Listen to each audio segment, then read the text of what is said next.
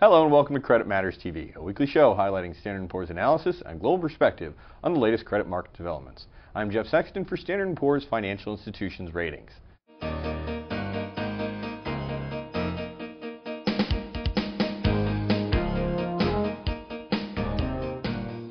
I'm joined by Mark Trench, Director in Standard & Poor's Insurance Ratings, to provide an update on the proposed changes to insurance accounting standards issued by the Financial Accounting Standards Board, more commonly known as FASB, and the International Accounting Standards Board, or IASB.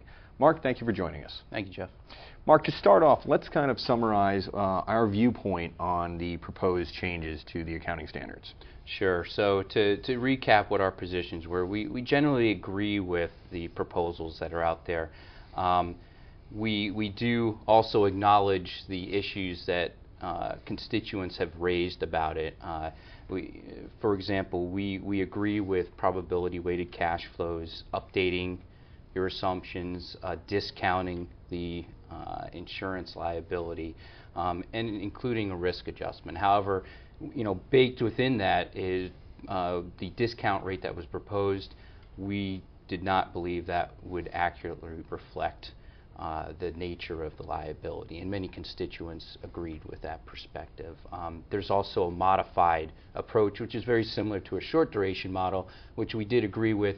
However, it limited the contracts that would be subject to that, and contracts such as health insurance, uh, which is traditionally a short duration product, under the proposals would not have been included in that.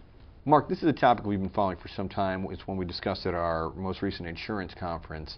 Um, so what has changed since the initial proposal, since we put those views out? Sure. There's um, there's actually been changes to the proposals and changes that are outside of the proposals that will affect uh, how this project moves forward. So first, the changes in the proposals. Uh, the boards have been working really hard. Uh, if you look at what they've decided to date, there's a lot more fleshed out as far as how do you do, you know, they've they've actually come up with a discount rate that is different from the proposal that um, is more in line with, with what constituents wanted or suggested, uh, and it fleshes it out quite a bit more. Uh, both boards agreed on that. They've also fleshed out items such as uh, how to release the composite margin um, as uh, the uh, approach that's supported by the FASB. Um, they've they're in pr the process of talking about fleshing out the risk adjustments and what methodology and how you go about applying that for the approach that the IASB uh, supports. However, as you probably noted from my discussion, there still are major differences that exist in the measurement. There's a one margin approach that the FASB supports, the IASB supports a two margin approach. Um, with respect to DAC, there are significant differences. Um, the FASB supports uh, deferring acquisition costs that relate only to successful efforts, whereas the IASB would not make that distinction. So there still are some differences that have to be hammered out in the next couple of months.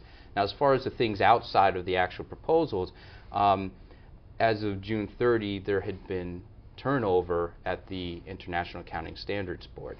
Um, three of the departing members were three of the largest proponents of the insurance contracts project and helped to uh, push it along. One of them happened to be the chairman.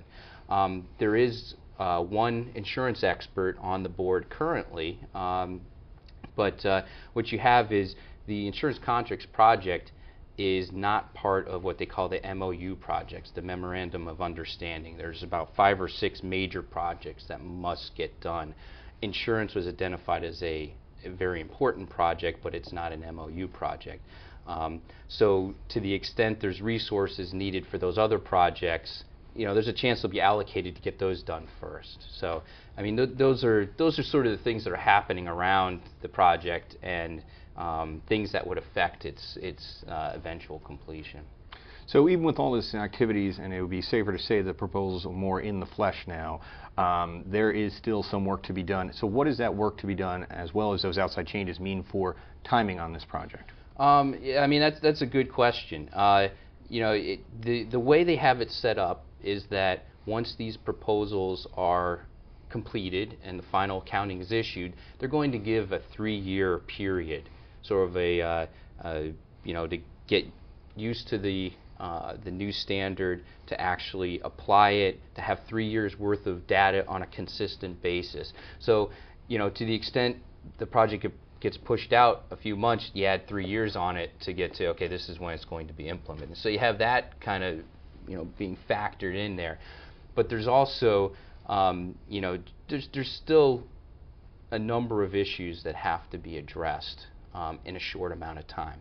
Uh, at the beginning of the summer, they had delayed a number of projects, including the insurance contracts project, which, ha- which had a June 30 end date. Uh, now, when you look at the timing, um, it appears that it's first half of 2012. So um, I, I think there's still some room in there because you know six months. Which when is it actually going to come out? Uh, but I, you know I think in part they're hedging themselves because they have delayed the MOU projects I mentioned as well, and in at least two of them they've decided to re-expose them.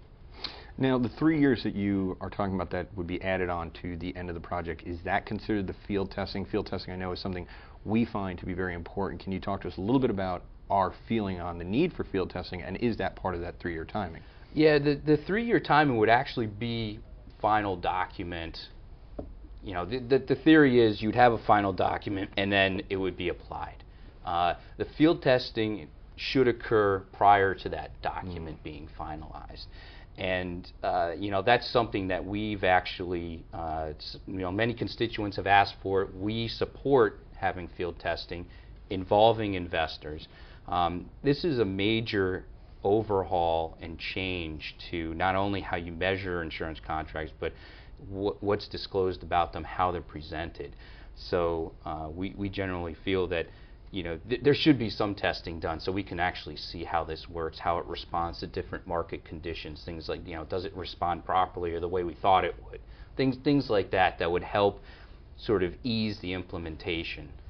So, what does all of that mean going forward? I think it, it's uh, good news and bad news. I'll start with the bad news. The ba- bad news is it's going to take longer to get a consistent set of accounting standards for insurance contracts. And um, you know, for many analysts, especially um, European analysts who rely on supplementary information to a certain extent, uh, known as embedded value, uh, you know, having a set of financial statements that are from a common set of accounting standards it, it would be great. It's a, it's a good starting point for the analysis.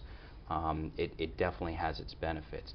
However, you know the reason for the delay is they are fleshing out all of the fine points. Um, they are taking the time to uh, make the standard much better and answer a lot of the questions that constituents had raised. So, like I said, there's there's good and there's bad to it. You don't want to rush it, but you you want it done. So, while there's a lot of work that has been done, there's still quite a bit to go and still a lot to take into account. Um, with that, Mark, I'd like to thank you for providing this update on our view of the standards that have been put forth, the proposed standards put forth by the accounting standard setters. And from all of us here at Standard & Poor's, thank you and take care.